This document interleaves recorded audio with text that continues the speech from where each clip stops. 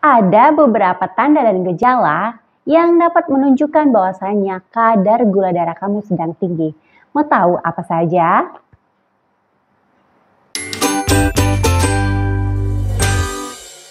Halo Besti, kembali lagi dengan aku, Dr. Nova.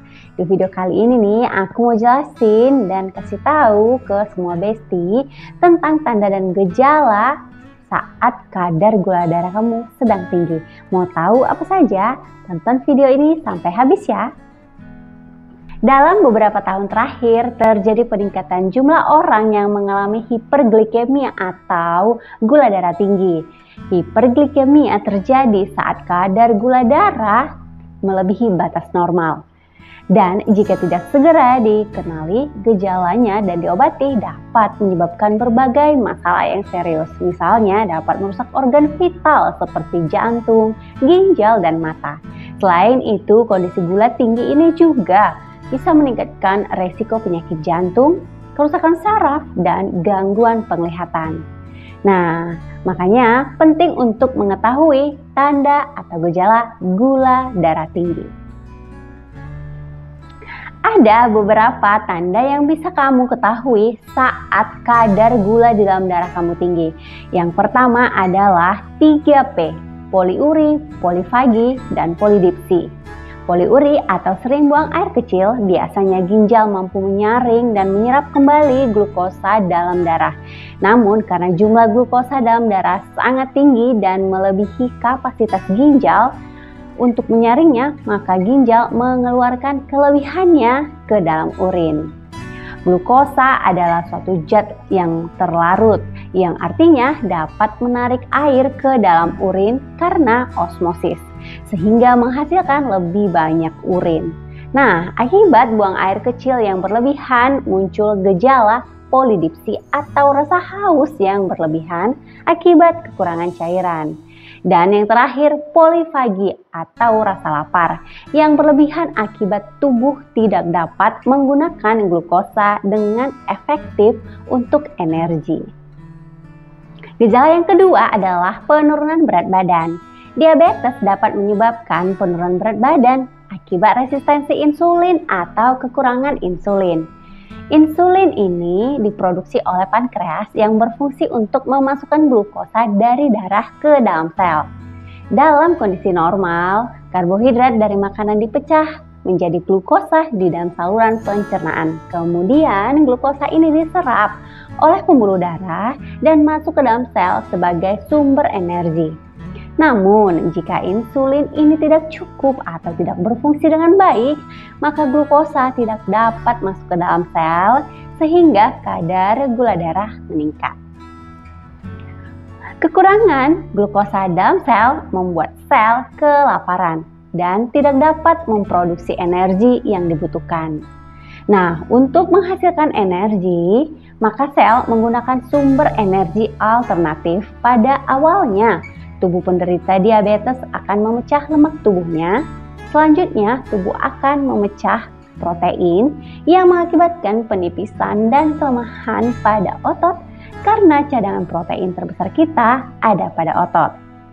Hilangnya lemak dan otot akan mengakibatkan penurunan berat badan. Gejala yang ketiga adalah lemas. Penyebab kelelahan pada penderita diabetes adalah akibat gangguan dalam penggunaan hormon insulin. Glukosa yang diperoleh dari makanan tetap berada dalam aliran darah, menyebabkan kadar gula menjadi tinggi. Akibatnya, sel-sel tubuh tidak mendapatkan cukup glukosa untuk digunakan sebagai energi, sehingga penderita diabetes akan merasa lemas. Yang keempat adalah penyembuhan luka yang lama atau buruk. Masalah utama dengan luka diabetes adalah penyembuhan yang buruk atau tertunda. Penyembuhan yang terhambat ini disebabkan oleh penyakit arteri perifer dan neuropati perifer yang sering terjadi pada penderita diabetes. Pada kondisi ini, pembuluh darah kecil di berbagai bagian tubuh, terutama di ekstremitas, yaitu tangan dan kaki, menjadi menyempit dan mengurangi sirkulasi darah ke daerah tersebut. Nah, kurangnya sirkulasi di ekstremitas dapat menyebabkan pasokan oksigen dan nutrisi ke jaringan dan saraf tubuh akan berkurang, yang sangat diperlukan untuk proses penyembuhan. Seiring waktu, saraf di daerah tersebut dapat rusak, mengurangi kemampuan untuk merasakan nyeri, suhu, dan sentuhan, sehingga membuat pasien rentan terhadap cedera. Gejala yang kelima adalah tensi darah tinggi atau tekanan darah tinggi. Pada penderita diabetes mellitus, tingginya kadar glukosa darah atau hiperglikemia menyebabkan peningkatan resistensi dalam aliran cairan di pembuluh darah.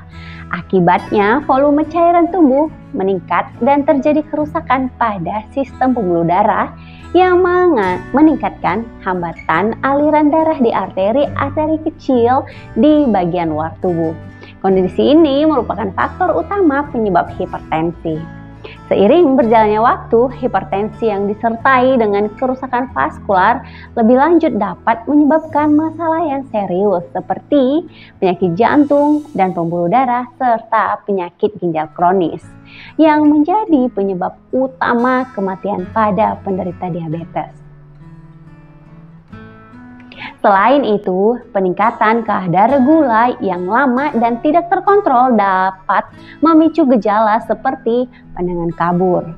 Kadar gula darah yang tinggi bisa menyebabkan perubahan pergerakan cairan di mata yang sering mengakibatkan pembengkakan pada lensa mata.